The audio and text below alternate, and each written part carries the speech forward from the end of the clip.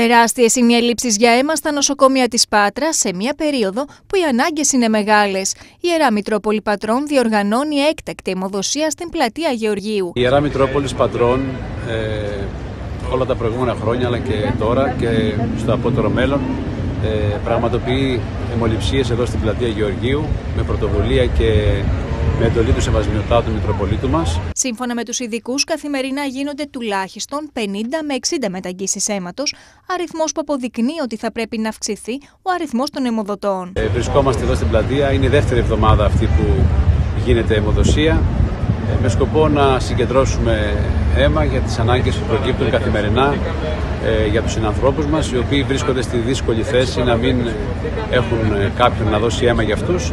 Οπότε λοιπόν Κάνουμε λοιπόν και αυτή την αγάπη, η Εκκλησία, ε, μαζί με όλα τα υπόλοιπα τα οποία ε, οφείλει να πράττει για τον άνθρωπο και για τις ανάγκες που προκύπτουν. Οι ανάγκες είναι ιδιαίτερα αυξημένες λόγω και της μειωμένης προσέλευσης εθελοντών αιμοδοτών στο χώρο του νοσοκομείου λόγω του κορονοϊού. Είναι συγκινητική η παρουσία του κόσμου ε, όλα τα προηγούμενα χρόνια αλλά και τώρα σε αυτήν την αιμοδοσία.